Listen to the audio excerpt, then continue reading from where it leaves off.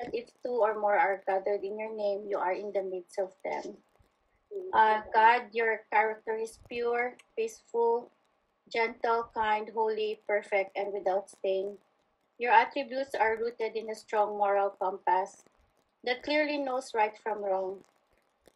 In a culture that doesn't make clear right from wrong, you are a refreshing source of purity and direction. You light the way with your morality, showing us what is truth, goodness, and righteousness. You make us know the way to take, which will always be the way of morality. We praise you and worship you for being a constant compass of morality in an ever changing culture. We adore you for your strength of character and your consistency.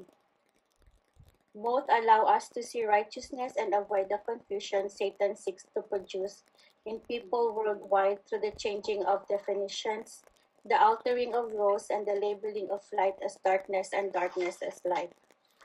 Father, thank you for setting the standard for us so that we will know and experience the fullness of your love.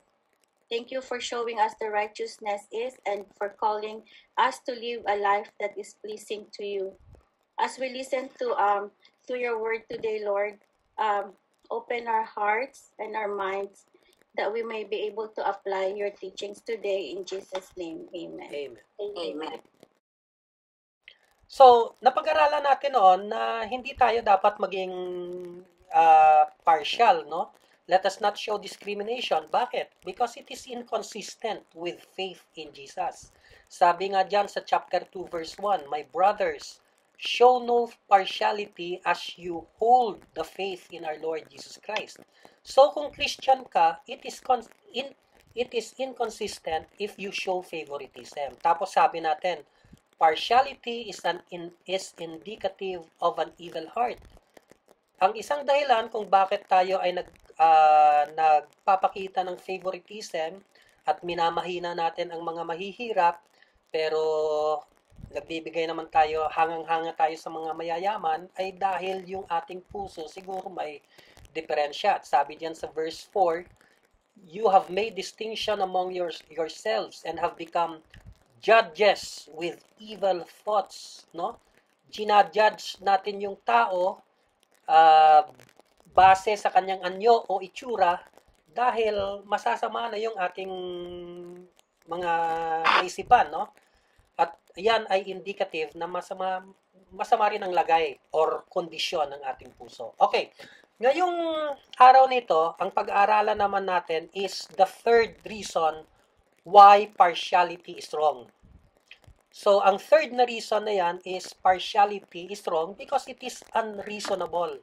It is not logical.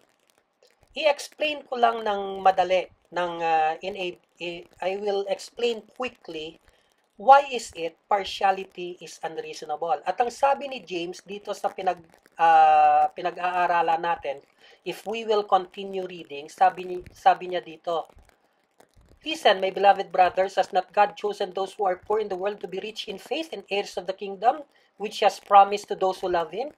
Minamahima mo ang minamahinan nyo ang pobreng tao? Di nyo ba alam na ang karamihan ng mga pinili at iniligtas ng Diyos ay mga mahihirap? Eh bakit nyo sila minamahina? Kung sila yung mga klase ng tao na pinili ng Diyos. Tapos sabi niya pa dyan sa verse 6, But you have dishonored the poor man. Are not the rich the ones who oppress you and the ones who drag you into court? Are they not the ones who blaspheme the honorable name by which you were called? Dinamahina niyo ang mahihirap, hangang-hanga kayo sa mga mayayaman. Pero nung kapanahunan ni James, yung mga mayayaman, syempre hindi naman lahat, no? Pero marami sa mga taong umuusig o nag-persecute sa mga Christians, many of them were rich and powerful. Sila yung merong pera at kapangyarihan na dalhin sa korte yung mga Christians at that time. So sabi ni Santiago, sabi ni James, this is not reasonable. This is not logical. Mamahinain mo yung tao na na actually ito yung klase ng taong pinipili ng Panginoon. Tapos ang iyo namang hahangaan at bibigyan ng papuri at ipagmamalaki yung mga tao, yung klase ng tao na sila yung klase ng tao na dadalhin kayo sa korte, ipapapreso kayo at minamahina nila si Jesus Christ? Eh di ba hindi yon logical? Kaya ito ang ating pag-aaralan ngayong araw na ito. Partiality is unreasonable. It's wrong because it's not logical. Why you why should you dishonor the poor when they are the ones God prefers? And why should you why should you be very ang uh, tawag dito very uh, I forgot the term sa sa English. Why should you fawn before the rich? Yon. F-A-W-N. Yung bagang puring-puri ka sa mga mayayaman when they are the ones who persecute you. Yon ang argument ni ni James. So, okay. Next time, partiality is unlawful. Sa next time na lang yon. Pero ngayon, ang pag-aaralan natin, partiality is unreasonable. Bakit? Because many of those God has chosen are poor. O, sinabi ko na yon. And number two, uh-huh. because many of those who oppress you are rich. That's why it's unreasonable for you to show favoritism. Okay, ang pag-aaralan natin ngayong araw na ito, ito lang muna, para one point lang, para ma-absorb natin, ma-digest uh-huh. natin. I want us to reflect and to meditate on the great truth. Ito, amazing itong katotohanan ito many of those God has chosen are poor. Grabe yan.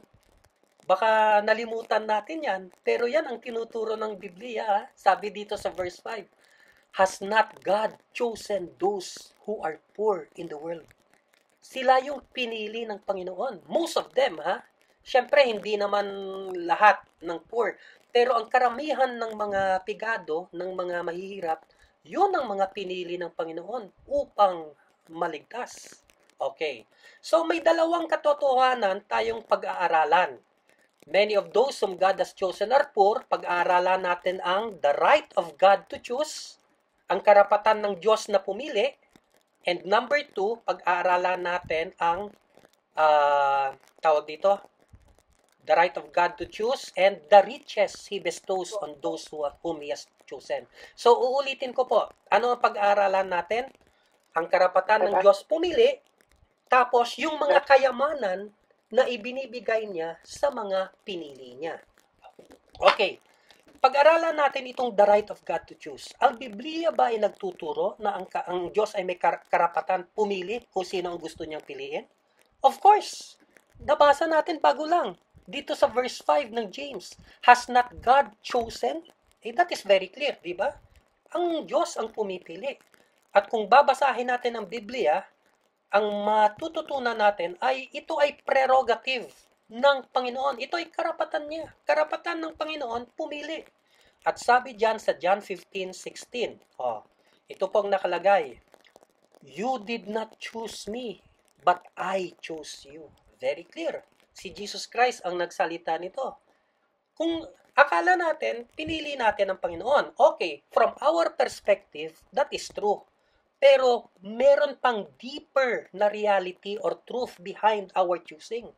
If ever we chose Him, it is because He chose us first. Kaya sabi ng Panginoon, You did not choose me. I was the one who chose you. Kung babasahin naman natin ang 2 Thessalonians chapter 2 verse 13, ito po ang nakalagay. But we ought always to give thanks to God for you, brothers beloved by, the Lord, because God chose you as the first fruits to be saved. Sino po ang pumili sa atin para tayo ay maligtas? Ang Panginoon, siya po ang pumili sa atin. We love Him because He loved us first. Ito po, napakalalim nitong katotohanan ito. I will not delve very deeply into this, pero kahit isipin na lang po natin, bakit po tayo nagkaroon ng opportunity na marinig natin yung gospel? Sino po ang talagang nagtrabaho upang tayo'y magkaroon ng ganong klaseng opportunity? Sino yung nagtrabaho sa ating puso para ha, para habang nakikinig tayo, nagme-melt yung ating puso, nagiging open tayo, tapos tinanggap natin ang Panginoon bilang ating tagapagligtas. Bakit yung ibang tao nakikinig pero nanana, nananatiling matigas yung puso nila at hindi nila naiintindihan yung kanilang naririnig? Pero tayo, for some reason, parang milagro, habang nakikinig tayo, it became very clear. Jesus Christ died on the cross for my sins. If I receive Him, I will have eternal life. Para sa iba, yan ay kabuangan. Yan ay hindi kapani-paniwala. Pero para sa atin, it, it's very clear and it's very true. Holy Spirit na pala yung nagko-convict sa atin at nagtuturo sa atin at siyang nag-enlighten sa atin para tayo'y sumampalataya. That, that, those, those are proofs. Yun ang ebidensya na talagang it is God who chooses.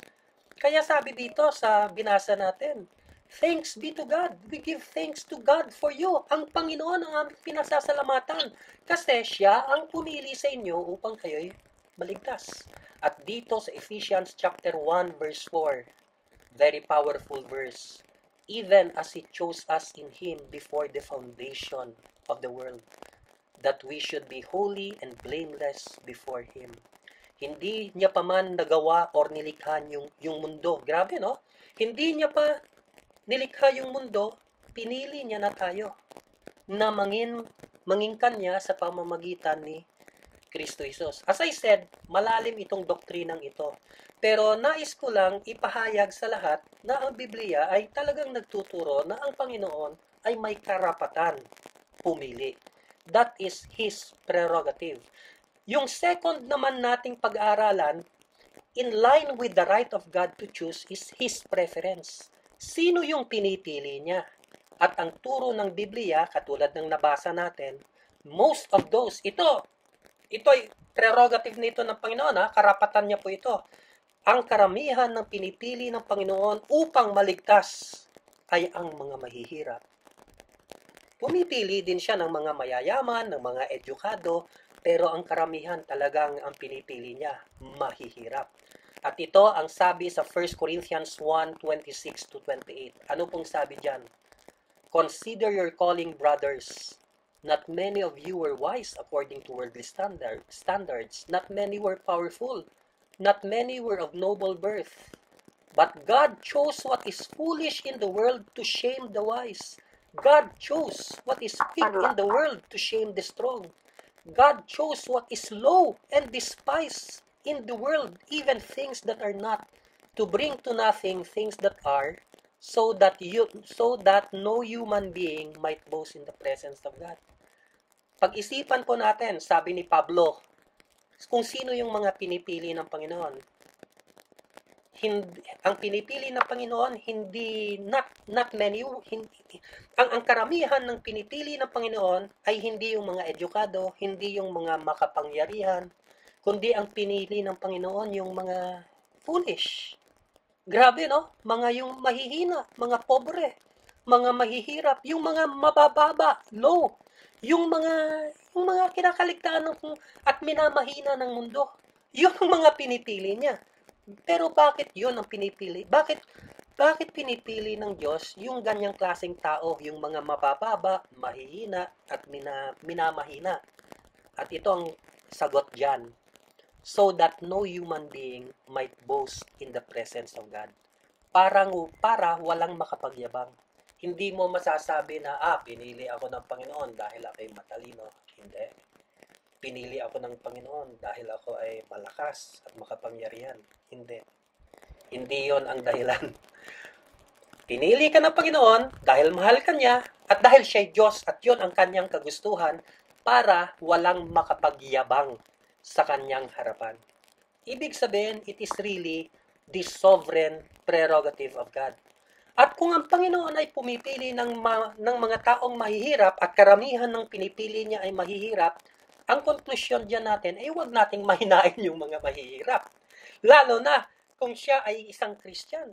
Kasi mahirap siya sa mata ng mundo, pero mayaman siya sa harap ng Panginoon dahil siya ay ligtas at kapatid mo siya sa Panginoon. Yun. Okay. Let's go to the next point. May hindi ko na lang ito, babasahin ko lang ito pero hindi ko lang i-explain. God's choice is not favoritism because it is not based on human or worldly merit but is purely by grace. It is unconditional. So, although pumipili ang Panginoon, yung kanyang pagpili ay hindi favoritism. Kasi yung kanyang pagpili ay hindi nakabase sa ating anyo or sa ating itsura. It is purely by grace. Kahit mahirap ka, kung gusto kanyang piliin, pipiliin kanya. So, hindi yan discrimination. That is not favoritism. That is grace. Okay, ito. When we belittle the poor, even though he is conformed to Christ, we are belittling Christ. Ito, tandaan po natin, kung minamahina natin ang isang taong dukha, lalo na kung Christian siya, ang minamahina natin ay si Kristo mismo. Bakit ko po nasabi yan? Ito pang sabi ng Biblia. Sa Matthew chapter 25, no? Matthew 25 verse 40. And the king will answer them, Truly I say to you, as you did it to one of the least of these, my brothers, you did it to me. Kung ano yung, kung ano yung ginawa mo sa pinakapobre at pinakamababang anak ng Panginoon, o kapatid ng Panginoon, para mo na rin ginawa yan kay Kristo.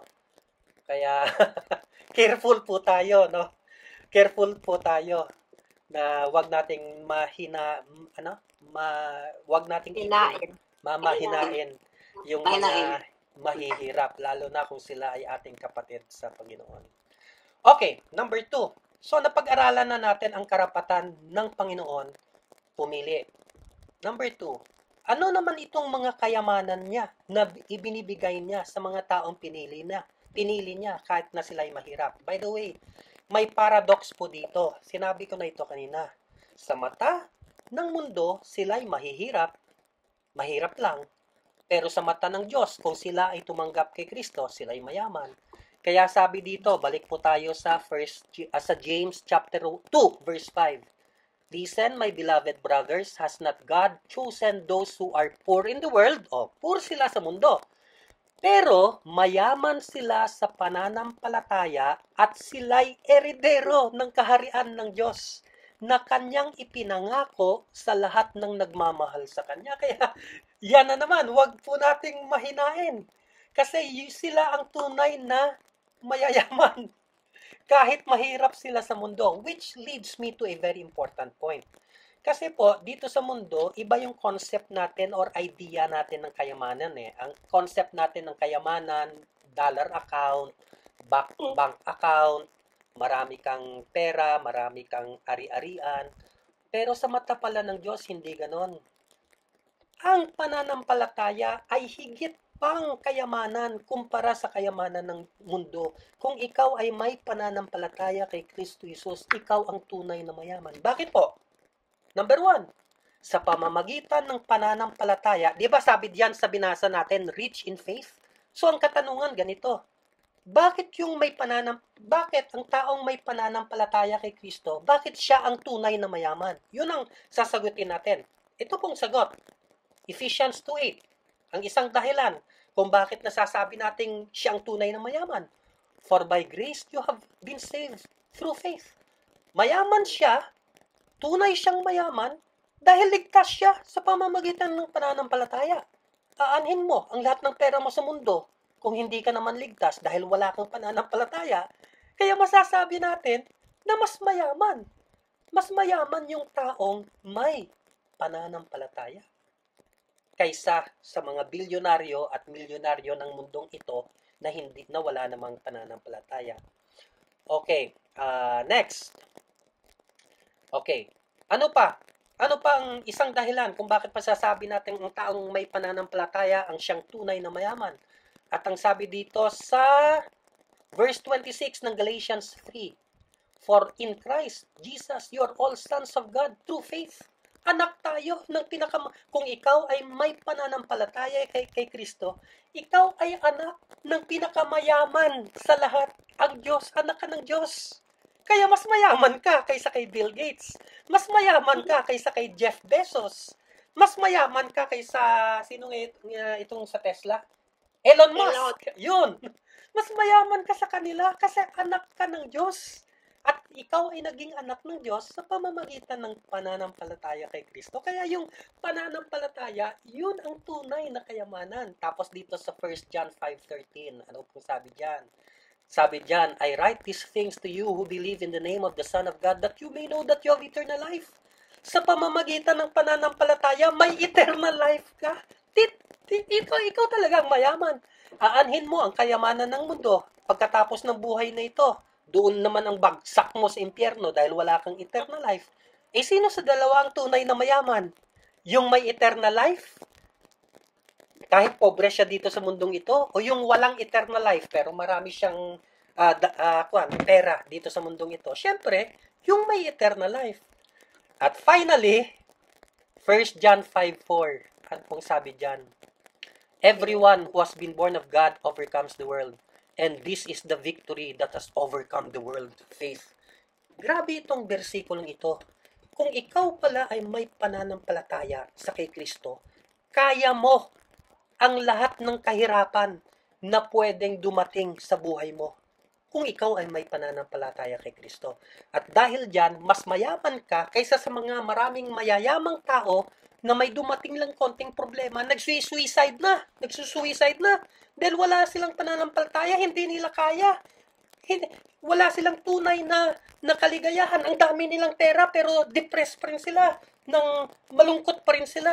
Pero makikita mo, maraming tao na pobre na, at, uh, at mahirap, mahihirap, pero dahil may pananampalataya sila kay Kristo, meron silang peace, meron silang joy, meron silang love, dahil sa Holy Spirit na nagtatrabaho sa puso. Kikita nyo po ang punto ko? Siguro naman very clear, no? Kung sino ang tunay na mayaman. Ang tunay na kayamanan ay hindi dependent sa material uh, things.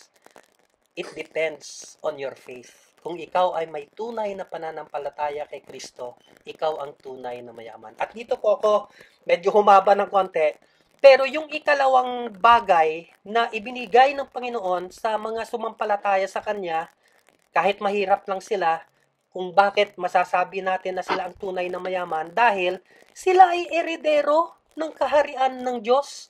Ang sabi po, ang sabi po dito sa Luke 12:32, Fear not, little flock, for it is your Father's good pleasure to give you the kingdom ito, ito, grabe itong versikulong ito. Pag-isipan po natin mga tiya ko, mga pinsan, sana ma-encourage tayo sa verse na ito. Ah. Basahin ko na lang lahat. Ah.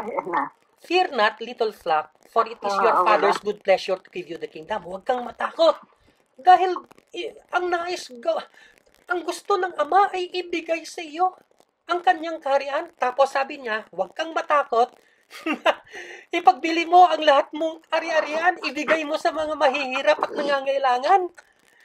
Kasi sabi niya, para magkaroon ka ng kayamanan sa langit na hindi pwedeng, uh, tawag dito, hindi pwedeng kawatin ba? Ano, ano, ano sa Tagalog ganina? Where no thief can steal, no moth destroys. E kawaton? sa, sa Tagalog, nalipat ko. Nakawin! Nakawin. Dito sa mundo yung ating kayamanan, madaling nakawin, madaling masira, pero yung kayamanan sa langit, hindi yun mananakaw at hindi yun masisira. Kaya sabi niya, huwag kang matakot, huwag, mong, huwag kang matakot na mawala ang lahat. Huwag kang matakot na ipagbili mo yung mga ari-arian mo at ibigay mo na lang sa mga nangangailangan. For where your treasure is, there your yeah. heart will be also. So, ang, ang ganda po nito ha. Ito, lalo itong verse 32, verse 32, nagaganda na ko ito. Fear not, little flock, for it is your Father's good pleasure to give you the kingdom.